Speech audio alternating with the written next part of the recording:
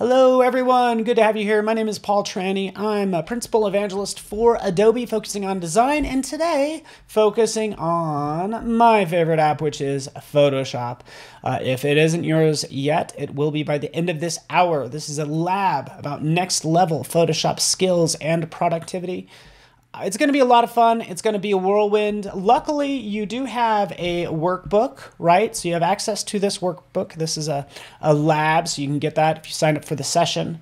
Um, this is the workbook associated with it. And I'm going to be clicking through all of this stuff, but I did outline all of these steps for you.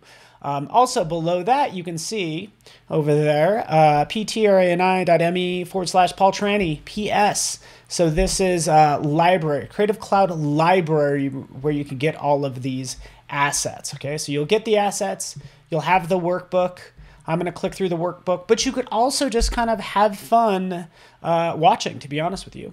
Uh, and just so you know, it's kind of broken down into three sections. So I'm going to talk about portraiture and cleaning up uh, skin tones and portraits and things like that. Then we'll get into compositing, where we'll spend most of our time, a lot of magic happening there. And then we'll get into sort of book cover design, typography, things like that. So let's go ahead and start. And you can see I'm just sharing my desktop. I'll kind of close this, close this. You can see right in here, um, you can access that um, URL that I explained earlier, but it's the same one that you get on this lab, on the lab page. In the lab description, these are the same files. So again, portrait, comp composition, and then sort of book cover design. So you will go ahead and sync that. So you'll save a copy or follow that library. I encourage you to save a copy. And what that will do is in Photoshop, you'll have access to them right over here. So you'll have that open. Again, this might be named something different, might have the lab lab name. Uh, but these are the files that I'm going to ask. Uh, uh, I'm, I'm going to open and ask at, asset at assets. I'm going to access. There we go. Words. Okay, so uh, I can open up this, but let's talk about sort of um, really optimizing Photoshop because it's Photoshop's optimized. We can work a lot faster, and that's what I'm going to do uh, right now. So I typically have it set up this way. I have my properties panel, right? That typically gives me all of the options for whatever's selected. But then have your uh, your panels optimized and squared away with the latest and greatest. So uh, notice I have gradient swatches, shapes, brushes, styles, all that stuff. This is why people don't want to update Photoshop. It's because they don't want to have to export out each one of these, right? Export and then import into the new ver. You take half day trying to get everything set up again. Well, you don't have to worry about that because uh, in Photoshop, you can actually sync the presets. So it's under General Preferences, Preset Syncing. Get that set up. And hey, while you're at it, hey, make yourself a cup of coffee, maybe a latte, right? Or have some toast. You want some Mariah toast? That's even in there as well. Shift, Option, Command, and then click on those color themes. And uh, that's just a fun Easter egg for you. All right, so let's move on. So what I want to do actually with this is also trick out these panels, get everything in here. So yours might not look like this. It's because I took everything out of the folders. I don't like them being in folders. Access legacy gradients as well. So go beyond sort of having all these folders, get this set up the way you want, right? Take all these, put them into one folder. The thing is you only have to do this once. You do this once, and then it's synced and uh, it's always going to be set up that way moving forward. So that's what I would do. Do that for all of these because that's how you get these awesome uh, patterns. Patterns I use oh so much. I use this a lot for shapes. Again, I took everything out of the folders, right? So I could actually see things. So I'll view large thumbnails and I can see all of those assets right down here. Um, yeah, and then again, load up the default shapes as well. So this is where you can get all the fun new things, including some of these commonly used symbols. So have access to those, do that for all your panels. It'll all be synced up and now we have that all sort of tricked out, if you will, and full of all this good stuff, right? Same thing for brushes. All right, let's talk about setting up your layers panel and really navigating around this file because this happens to have uh, a total of what 86 layers. There's a lot going on in here. If I take a peek over here, it's like I can't really tell what's what. Well, I know those are flags. Good job. The only reason I named them is because this is in the it's a lab file. But typically mine aren't named or it might not be this organized. But I really can't tell like what's what. We got a lot of Garths. What the heck is Garth, right? I can't see it. We want to optimize the layers panel. Click right here, this flyout menu. Go down to the bottom panel options. We'll select that. And right in here, rather than viewing the entire document, view just the contents, just the layer bounds. So we're going to see what Garth is. Who is Garth? Right? And then I turn off all this stuff. You know what? Don't give me these default masks on fill layers. Don't expand or add a copy of a copy of a copy of a copy. Turn all that stuff off, have layer bounds, turn on, click OK, bam. Oh, Garth is a little fishy. Right? There's a little fish. Okay, so navigating and just shortcuts. So this is the short shortcuts section, just so you know. Um, I'll click on the eyeball. A lot of people do this. Hold down the Option key and click on an eyeball, and it will just show what, uh, just reveal just that item. That works for most things like this whale. Oh yeah, that makes sense. For this fish, I still can't see it hardly. Okay, so what you could do is you can hold down the Option key and then click on the layer thumbnail. Watch what happens when I do that. Option or Alt if you're on PC. Zoom. It goes right to that Garth and that Garth and all these, oops, all these uh, different fish. And let me just kind of open up some of these other folders. Yes, I could see them. They're so easy.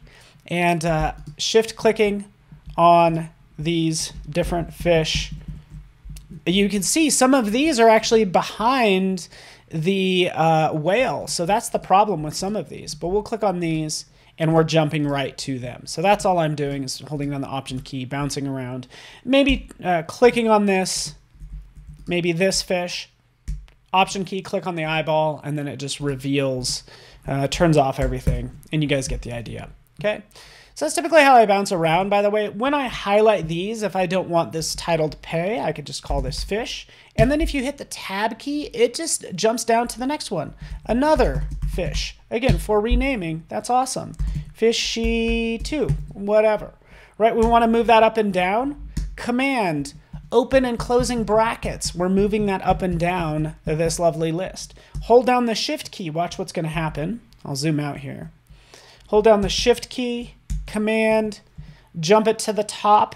If it's uh, the closing bracket, moves it to the bottom. Uh, the opening bracket, excuse me, the, yeah, the, the, the, I guess the left bracket jumps to the bottom, the right bracket moves it to the top. So that's what's happening, okay?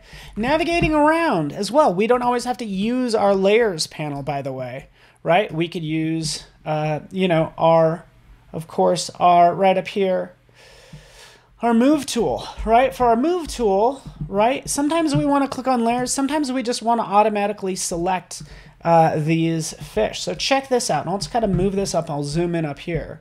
Auto select, hold down the command key and that will toggle on auto select. So command key, click, and it selects that layer. So let's watch this work in action.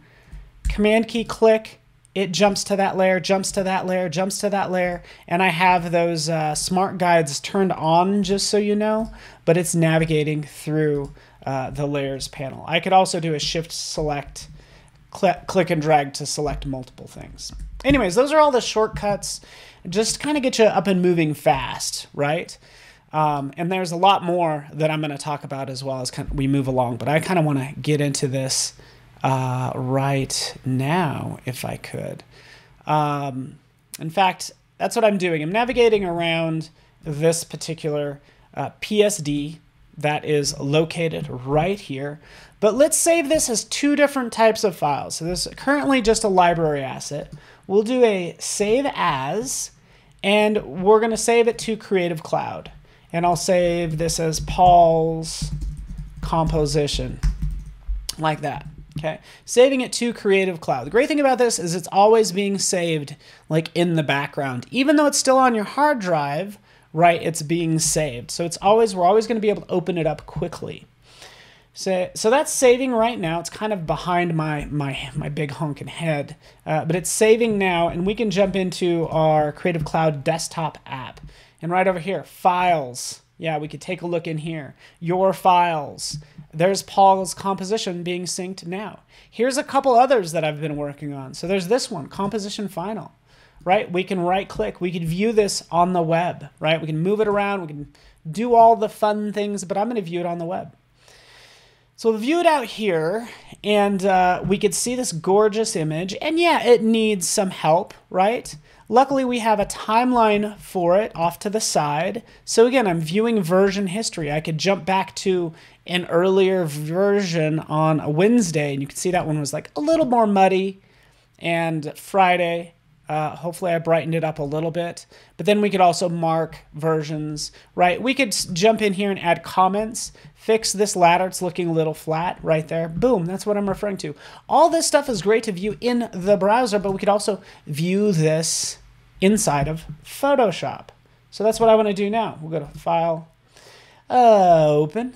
Actually, it's already open. What am I even talking about? Here it is. Check it out. In fact, right-click, review, reveal in web or on the web. So um, again, it might still be saving, but the short of it is you could share this with others.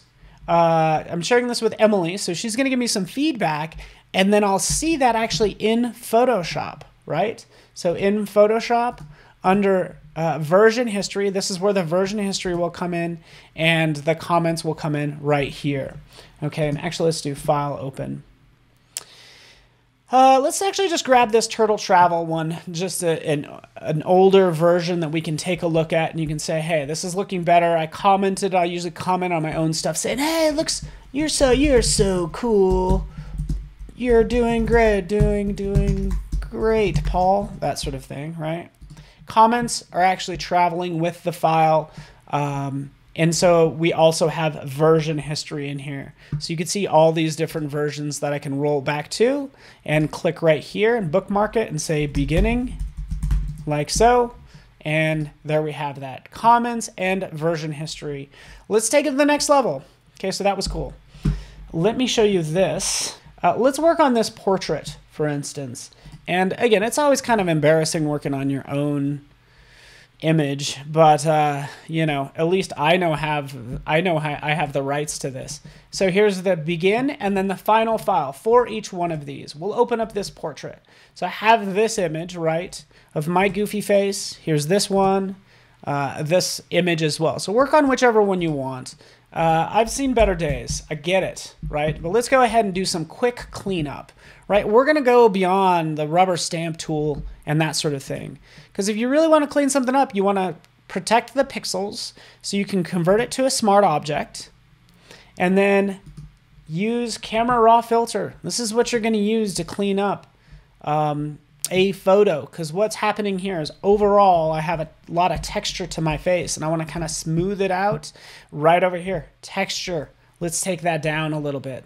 Right? Watch what happens when I take that down. Let me zoom out a touch. It starts smoothing out my skin, right? So we could see the before and the after, right? So again, usually people take this too far, right? No, looks so fake.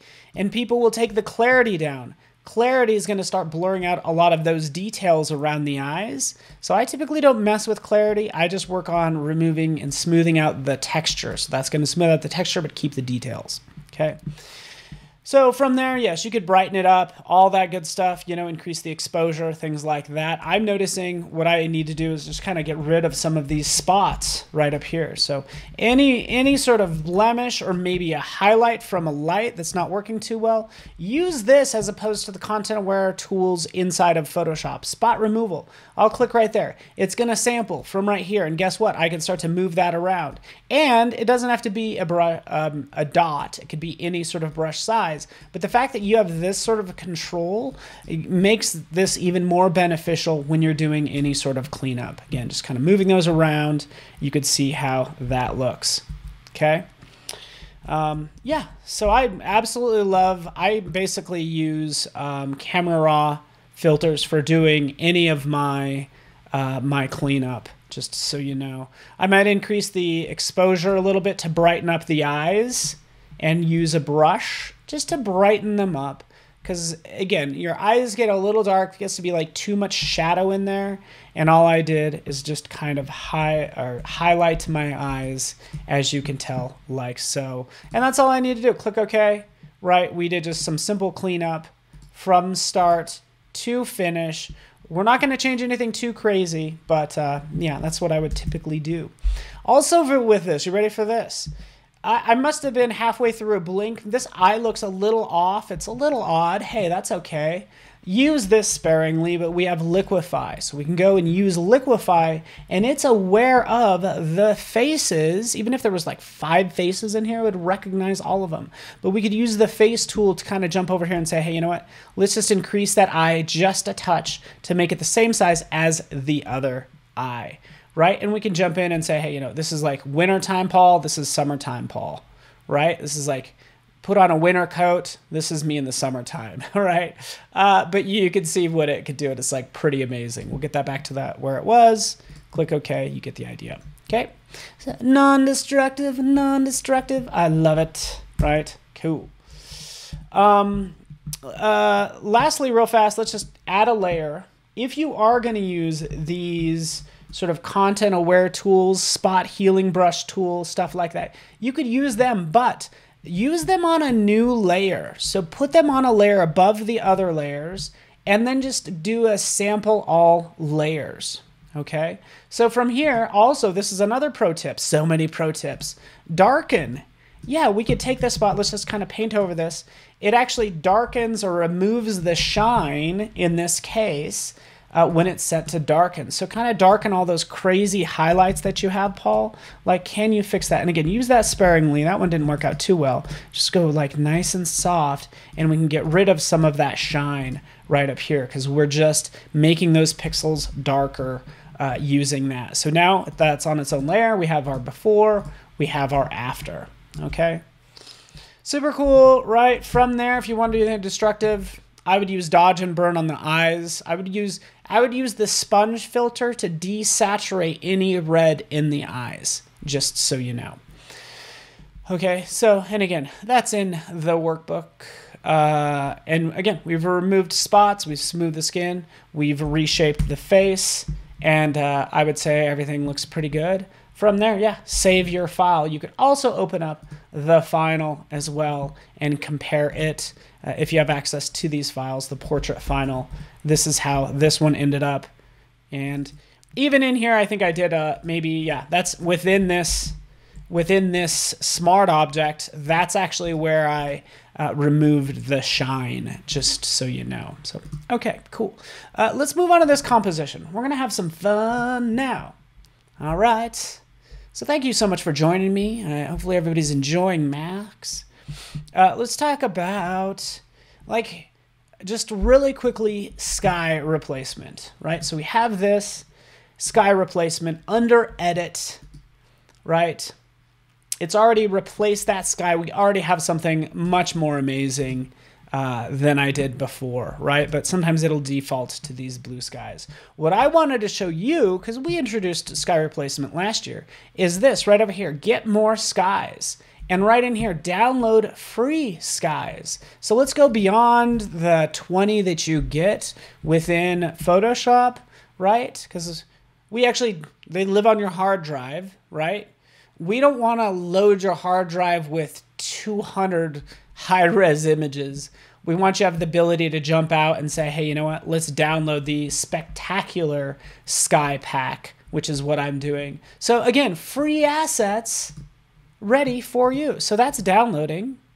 We'll go back out here, we'll click to get more skies, right? And we'll import uh, presets, right? You could also import up to 5,000 of your own images if you wanted to as well. There's Spectacular Sky Pack. Boom. Let's see how spectacular. Oh, there we are. Okay. Okay, okay, okay. I like the ones that have like multiple colors. Uh, and I could still kind of move these around, but I like that one. Let's try this one. This one's kind of fun. Cool thing is, is I could always change it later as well. But let's just output that as new layers. There we have it. Boom and boom. All right, so easy enough. um, yeah, we'll just leave that as is. We need to work on this composite some more. I have this lovely turtle, and I want to create this cool com composition where this turtle's in the sky. Easiest way to remove an object, right? Remove the background. Remove an object from out of the background. Select that layer. Go into the Properties panel. Check this out. Under Quick Actions, Remove Background. Click right there. Bam! Does it. Done, right? It not only does a select subject, but also adds that layer mask. So, again, I think that's pretty awesome. Okay. Gets a little bit more tricky with something like this. We have all these fish, right? Do we want to do a remove background? It's not quite going to work. That's why I want to introduce you to this, uh, the object selection tool. And what's happening now is it's automatically, this is brand new, it's analyzing this image and will find uh, the various fish in here. So check this out. As I roll over, it's like, yeah, I want this fish. Click, yeah. Shift, click, click, click, click. Grab all the fish that you want for our lovely scene just by clicking around. And we're adding to that selection by holding down the shift key. Okay, so we'll just grab some of these fish like so. Let's grab this one, maybe this one. It's probably not going to be perfect, but that's okay. And there we have it. Layer mask done right? And again, I could do more cleanup in here. Obviously, I need to do cleanup right there. But the fact that this automatically finds objects, this is what it does. Object Finder right up here. If you want to change the specifics of all this, the highlight, right, you can go ahead and do that right up here. So again, super easy. Uh, there's also a hard edge that you could select. Uh, kind of didn't need that, just so you know, and um, you get the idea, right? Cool. So that's done. We can make that a smart object. Sorry, I did that so fast. But this is, um, you know, these are pro tips, by the way. Convert to smart object, right? That's what we do. Take that, kind of shrink it down. I get it. I'll clean it up later, but right now we're just kind of getting the com com composite squared away uh, like so. All right, so we went through object select tool enhancements is what, what that is called, just so you know. Um, let's take a look at this castle. Mm, interesting. So this castle would be fun to put on the back of the turtle. Okay, so let's just do a remove background. That's always where I start, just because it's easy, right? It's like, boom, done, right? I could always add more to this using maybe the quick selection tool if I want to grab some more of those bushes and, uh, you know, fill with the, you option delete, will do a fill with the foreground color and I can add those bushes back there. Uh, but yeah, that's set up. Let's convert this to a smart object. Let's put it on the back of this turtle. Boom, boom. Let's take a look at manipulating graphics. So right in here, edit, transform. This is what I do. I don't even go this long. This is too long of a, of a way to get there. Uh, what I do, and let's turn off these fish, is I do a Command T, and then I do a right click. And here are all your options for manipulating or transforming this. So that's how an easy way to get to warp. Oh, there we are in warp. And you can grab these Bezier points like we know we have uh, we've done before, or you can actually grab the image itself. A lot of times I'm just grabbing the image itself and pushing it into place like that because we kind of want it to follow the curve of the turtle shell, but we don't want a whole lot of distortion with the, the building angles. Um, but I would end up doing something kind of like that, right? Just, you know, we can go beyond sort of these um, divisions and we can split it up some more if we want to as well. So clicking, we've split it up more horizontally, more vertically, and you can see this mess I made, okay? Now, why did I make this a smart object? Because it says smart, and I like selecting things that say smart. but more importantly, if I decide I want to go back in there, go into warp, oh, all those Bezier points are still there, and uh, I can manipulate it some more. So that's typically what I do. Since it's a smart object, it is my friend, and I'm going to shrink that up, make a little smaller like that, and uh, I still need to do a lot more blending, which I could do as well. Okay. All right. So, and actually, you know what? Since it's a smart object, if you ever want to apply two masks to something, make it a smart object, then you can apply another layer mask to that smart object. And then again, I'm just kind of brushing out some of this and blending it in. There we go. Something like that. Okay, cool. Okay, so we have the turtle uh, in place. We have uh, this castle, but the colors are way off. So how can we match the color? Let's do this. I want to match the color of the turtle with the color of the background. So let's take both of these. Let's convert them to a smart object. Okay, so for these two layers, I'm going to select the turtle layer. I'm going to go to Image, Adjustments, right down here, Match Color, right? And just do what it says right in here, it says, hey, you know what, what's your source? Well, it's going to be my current file, and I want to match the, the background, which is this sky replacement group. Boom, it automatically matches it. Okay, we could play with illuminance. I might crank it up a little bit or down the intensity, but play with these all you want, right? It's it's a it's a fine balancing act. Uh, but I'll just increase the luminance a little bit.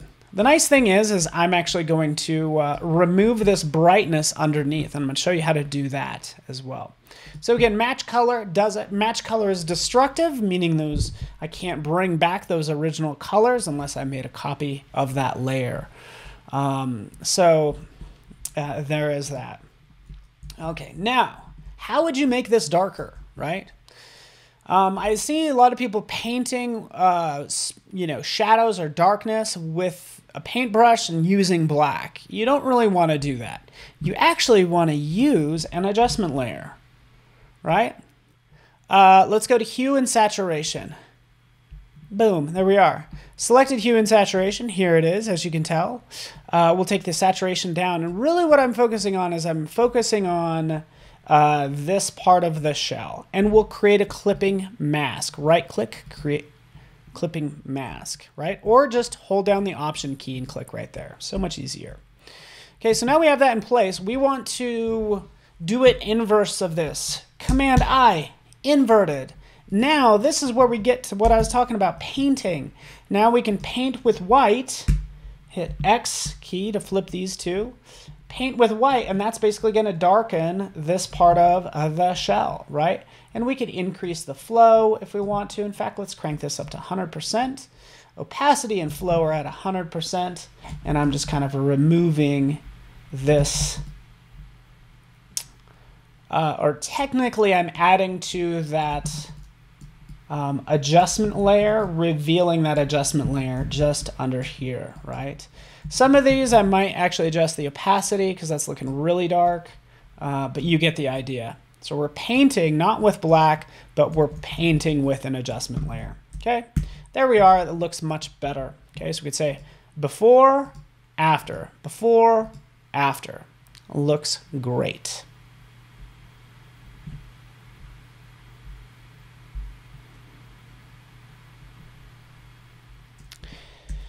All right, we could also use curves to change the brightness and color. So let's take a look at this. The, the color change I did earlier using match color was destructive. Here's a non-destructive way to uh, match color. We'll do it with the castle. In fact, we'll do a curves adjustment layer. We'll clip it. We'll click on this layer mask. And then let's go in here to the properties this is my curve, right? And I could play with this all day long. It's like, okay, this kind of needs to be brighter. Do I change the red? Do I need to have less red or more red? And it's a guessing game. So let's undo that. And let's go to this. I usually hold down the option key and click on auto. Boom, click on auto. That's gonna bring up these auto color correction options. So you can come in here, and again, I already kind of mess with this. This is where you get to define the shadows, right? I've changed this to enhance per channel contrast or find dark and light colors, right? I toggle between those two, just so you know. Play with them as you will. Uh, the midtones, right? So the midtones probably need to be a little bit more brown. And then the highlights, pick the highlight from the scene. So you're, it's not gonna be a guessing game anymore uh, when you're trying to match the color of something. You literally define the shadows, the midtones, and the highlights in this case, which is what I'm doing. So we'll kind of click around. We can see that change. We'll change this to find dark and light colors. I'm trying to get this to change drastically. And uh, it's not it's not changing that drastically, just to be honest with you. Let's get that mid-tone shadows could choose to be a lot darker. And uh, anyways, so that's what I wanted to show you. A simple way, you, it's very subtle in this case, but typically anytime you need to make drastic changes, this helps out a lot. So it changed all these color channels, and then I can still change the overall brightness and contrast as well, okay? So again, just trying to dial that in, and it definitely needs to be brighter. I'd go with something like that, and there you have it. Cool. All right. I'm going to show you something that, to be honest with you, I just learned, and it's absolutely amazing. Okay? Very helpful. Here I have, you know, I have the turtle, I have the castle right here. Okay? And um, let's just say I want to brighten up everything.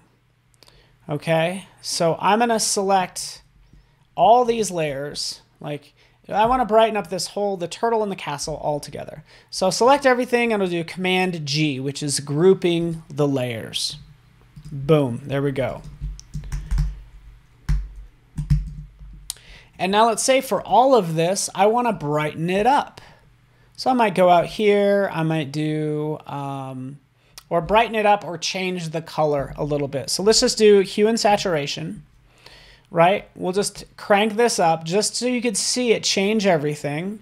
I'm like, no, I want it to just change the um, everything in the turtle layer. So you could do this. You could bring it outside of that current layer, and you can add a clipping mask to that turtle um, uh, layer group, and that does that does the trick. That's one way of doing things. But oftentimes you might end up with multiples of this. You'll then add uh, like curves that will be an adjustment layer and you'll, you know, drop that in there and do all that stuff. And it just gets kind of messy. I'm going to show you personally a better way of doing things is making everything more self-contained. Because I could put everything inside of this turtle folder. Notice how these are affecting everything. Okay? But I just want to affect the turtle. Just affect the contents inside of this folder. What do you have to do? You select this turtle layer.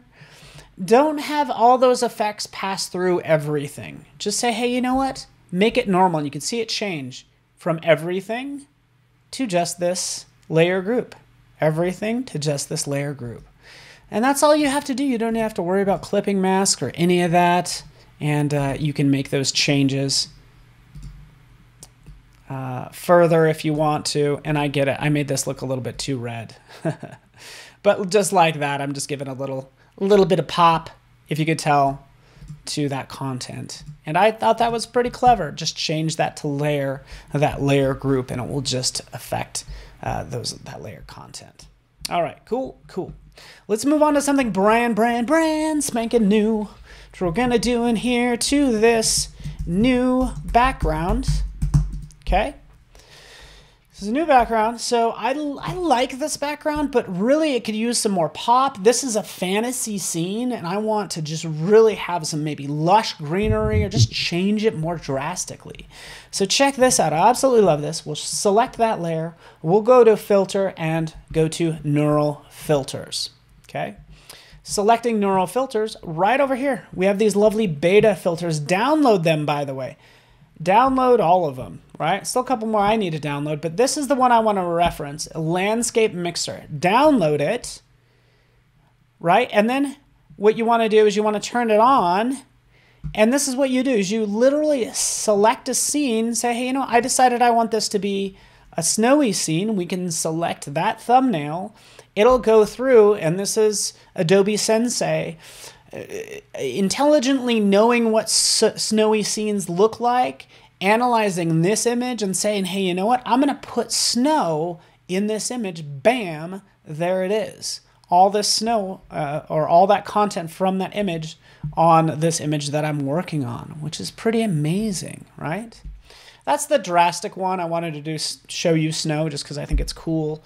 Uh, chances are you again, I just wanted something maybe a little bit more lush and green like this. So this one gives it the color, so it steals the color, right, and the landscape from this photo and applies it to mine. And also you can see all these sliders down here that you could play with all day long. But tell me that's not amazing. Should I just pause and wait for applause? Because that's just super cool, okay? We'll output this as a smart filter. We could always change this later, but in general, we'll just click OK. And now we have just like, just a better overall scene in this case. Even though he's looking a little bit green, isn't he? Boy, oh boy. All right, this is looking a little green. I could, uh, again, just tweak that a little. Let's just do that. Okay. Cool. Uh, in fact, I could do, I can add some harmonization to this as well. I could technically run this whole folder. Let's do this. Convert this to a smart object. The turtle is now a smart object. Now we could run some neural filters on it as well, right? So we could run that same uh, landscape mixer if we wanted to, but I'm going to select harmonization, right? We'll turn this on. So you do need a reference image, but yeah, I want to have some harmonization with the background. There we are, clicking right there. Analyzing that background image and then applying it to this just like that. I hardly have to mess with anything, but it just creates some more, more harmonious um, color combos um, and then I can tweak them further if I want to. I might make it a little bit brighter just so we can actually see it. And also, since it's the foreground image, I want it to kind of have a little bit more pop. But there we are. Oh, you know what I did? I accidentally did that as a new, yeah, neural filters. There we are. Double click. Let's double check. Output as a smart filter. Harmonization. Here we go change this. Sorry about that. I, I realized that it was it needs to be sent to set to smart filter. And then again, just going through that process. Not new layer. All right, there we are. Click done. You get the idea.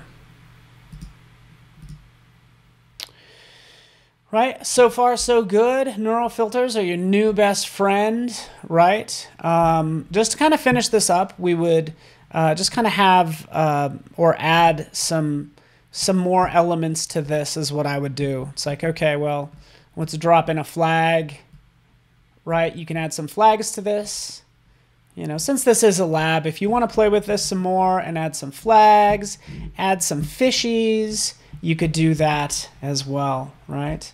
Uh, notice if I wanted to add a lot of these fish, if you hold down the Option key and click and drag, it will duplicate it and add more that way, right? And by the way, let's just go ahead and turn off the smart guides. That's what was going on there. So clicking, adding all these fun fish. Cool. There they are. Take them all, group them in a folder, and you get the idea right? That's how I ended up with this version. So feel free to grab that stuff. Feel free to open up this final composition and everything I've just shown um, is actually in here as well. Um, I did this HDR toning uh, layer just so you know, and then again, this is this is just a Paul tip, right? I'll I'll go through when a design needs to be finalized. I'll use um, I'll do a couple things.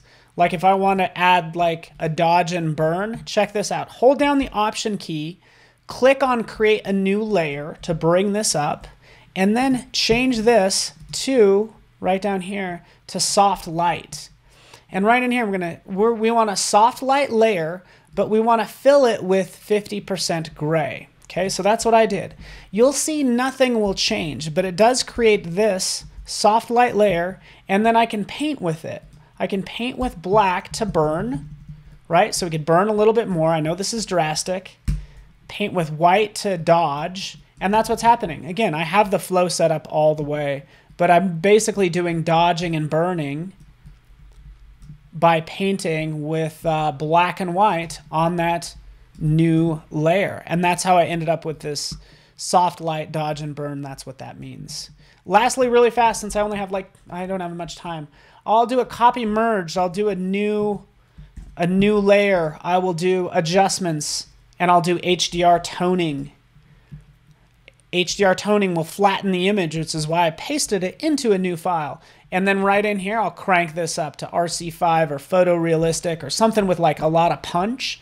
And I'm like, oh, let's just see how that looks, you know? Or the Scott 5 I like a lot, right? And I can tweak that some more.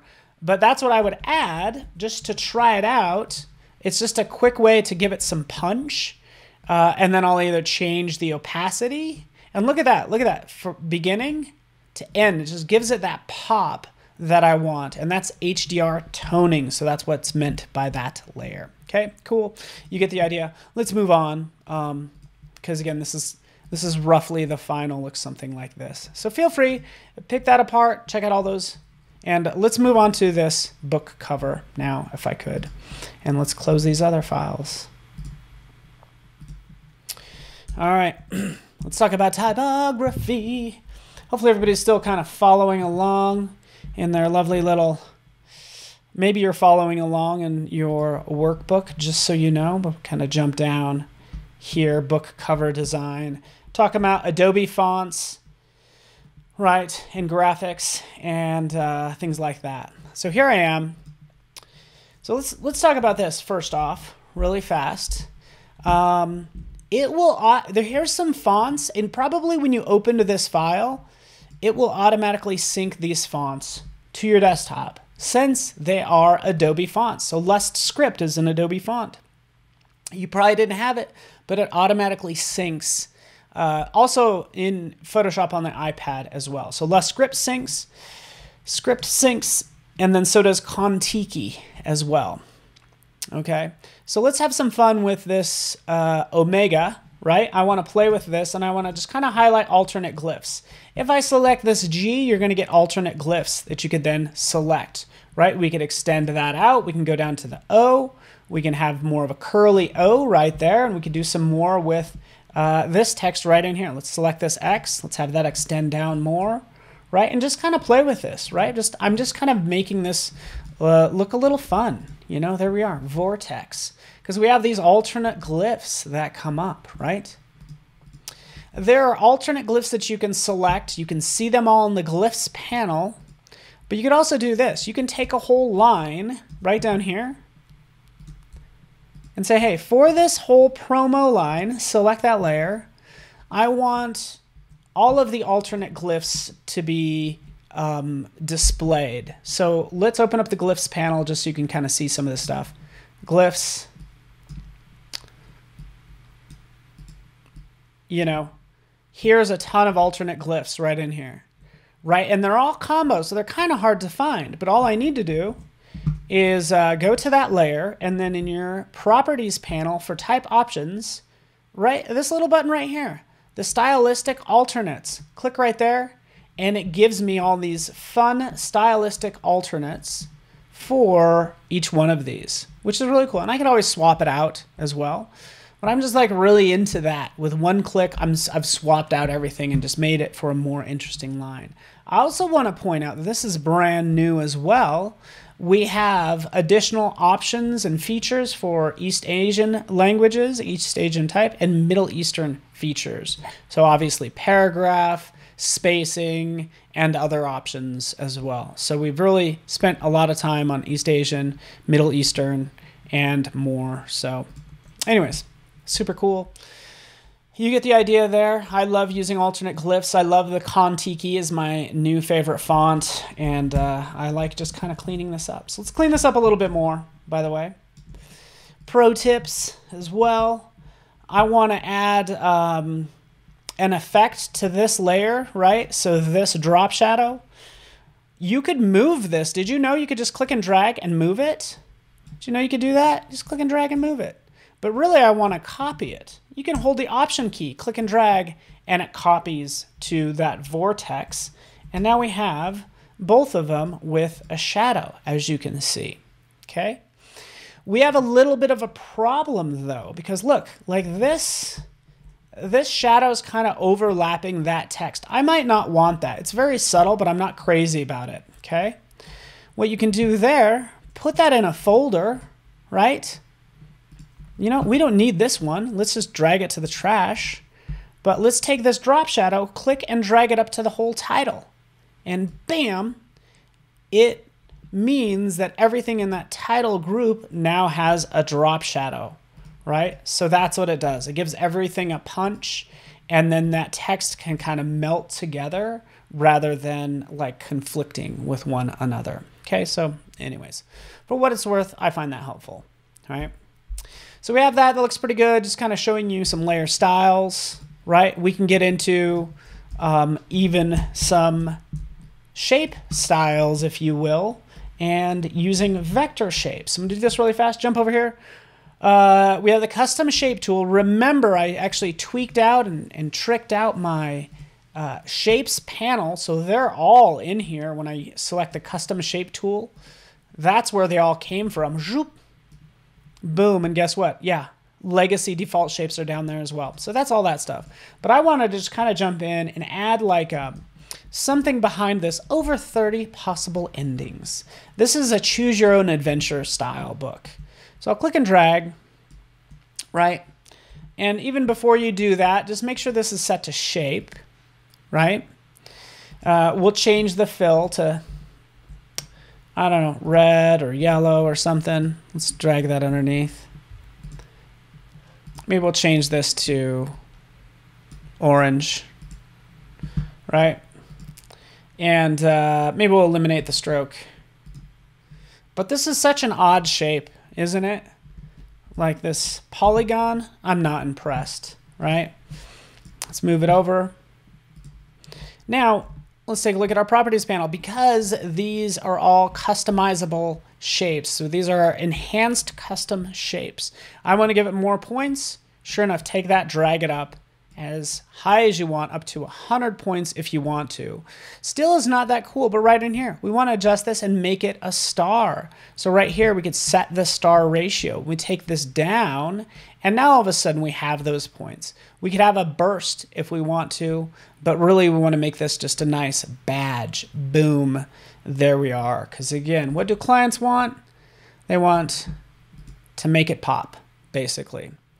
Uh, if we decide we want to make a coupon sort of look, we have that dashed line. You get the idea, right? We have that coupon style. We don't need to import that in from Illustrator. We just add it right in here, which I think is super cool. And by the way, if we wanted to even soften those edges, we just go ahead and rotate the curvature of that, and that's done. So those are your um, sort of enhanced custom shapes for this, which is pretty awesome, right?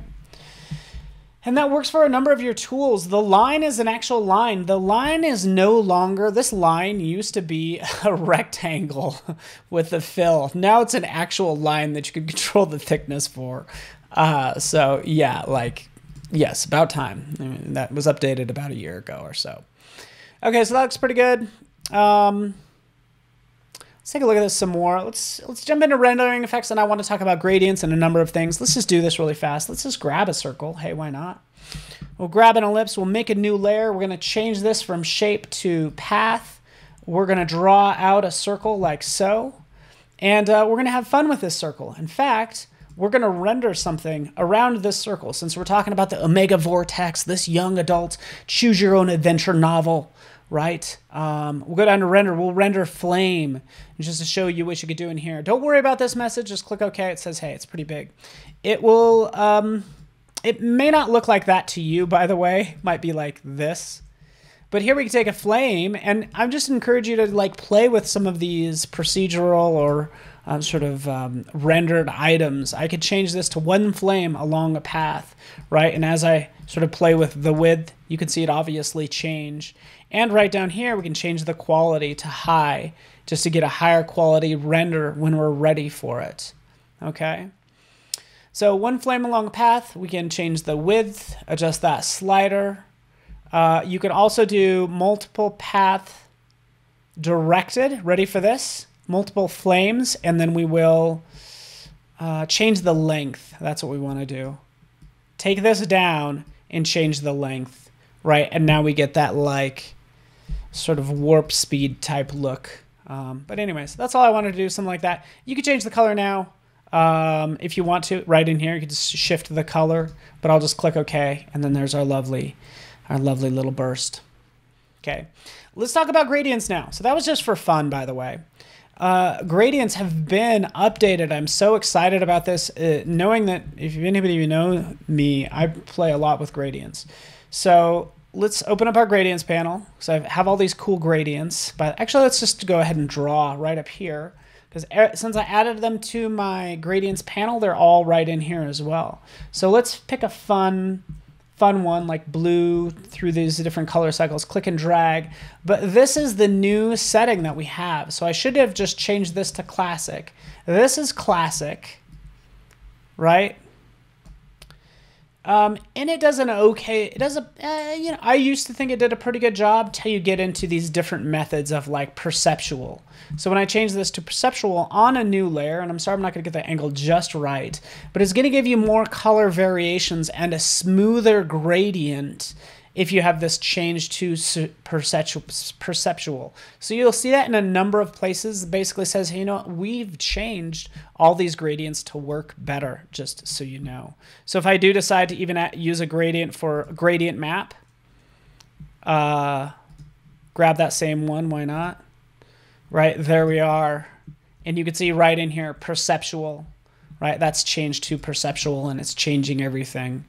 And uh, from there, I can start to tweak this some more. But at least there's the beginning of my okay uh, young adult novel, right? Just for fun. So, yeah, maybe I even want to put this on top. That makes everything change. And you can see how things can digress pretty quickly. Okay. Cool. Cool. Let's take that out like that. Feel free to save that. Feel free to open up this last one right here and you'll see a lot of those same sort of tips and tricks. Uh, I also want to kind of get into the iPad as well. So let me kind of switch over to it because I can actually work on this stuff on the iPad. So let's, let's take a look right now. All right, so here I am in Photoshop on the iPad, as you can see. So we can check out all these new features. Camera raw editing, smart objects, dodge and burn, magic wand, canvas projection, right? We could open up any one of the files that I was already working on, but let's just go ahead and rather than even reading from that list, uh, we'll jump out here and we'll just grab a photo. So this is actually a raw file, uh, a DNG, and sure enough, yeah, camera raw editing right in here. Let's just click auto, bam, brighten it up, and again, we can increase the exposure, add some effects, adjust the temperature, you get the idea. You know how all this works, right? We can make those sort of global edits, but let's just go ahead and import that as a layer, right? Easy enough using those raw files, right? And um, there we are. Bring it in like so. We can see that's on its own little layer off to the side. And we can start to brighten up areas because also what's added in here is dodge and burn. So we can select, say, dodge, for instance. And again, that's going to brighten up, say, these tree trunks. And again, maybe I'll bring down bring down the size. I could bring down or bring up the exposure, but it's pretty high just so you could see it.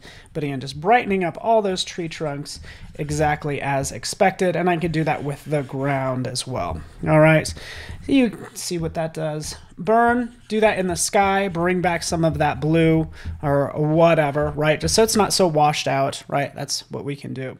All right, let's take a look off to the side. Notice we can actually, um, let's actually make a new empty group. Inside of here, we can go ahead and bring in a file from our library.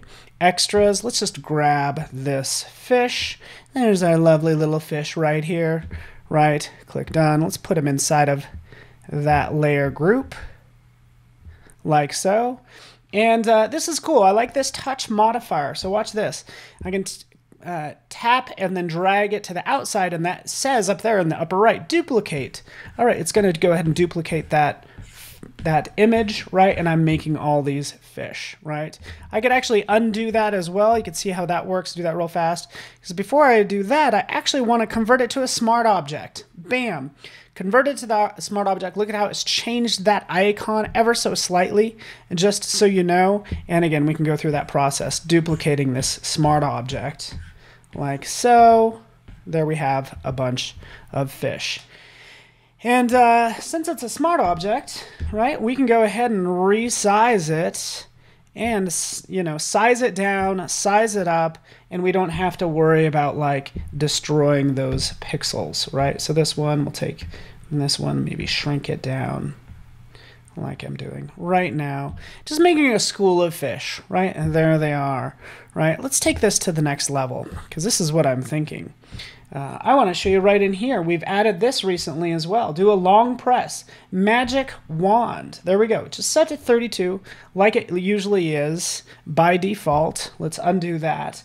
But I do actually want to tap on uh, just this tree like so. So I'm grabbing all that in fact adding to it, by the way. So let's deselect, let's tap once. That actually did a pretty good job, but we could also add to it. And so I'm tapping a little bit more and it's grabbing more of those pixels, right? That's basically what's happening. And let's go ahead and convert that to a layer mask. Bam! Converted that to a layer mask. And then let's just go ahead and um, invert it really fast off to the side, invert. There we go. And I was just trying to make it look like those fish are in the trees, right? That was the goal. And I could always take any one of these outside of that layer group, and uh, you get the idea. This one's kind of swimming that way. So again, the start of a fun composition, all done very easily in Photoshop on the iPad. I could share this with others, by the way. So uh, publish and export, obviously live streaming. Uh, I could share this with others, right? So we can collaborate together. Uh, there's also built-in commenting, so I could share this with the client. I would see the comments within uh, Photoshop on the iPad, which is great, just like on the desktop. You get the idea. It is a lot of fun uh, working on the iPad, so I encourage you to check that out. And uh, that's being synced in the background, and you get the idea. Cool. Well, thank you so much, everyone. Uh, that is it for me and Next Level Photoshop Skills and Productivity. Uh, it's the name of this lab. My name is still Paul Trani, and I'm just thankful you guys are hanging out with me today. So feel free to keep the conversation going uh, in chat, on social media, uh, and uh, I'm live streaming every Friday at 9:30 a.m. Pacific time on uh, behance.net forward slash live. So join me every Friday for a Photoshop masterclass. Otherwise, hopefully you're enjoying Max. And again, thank you so much for watching.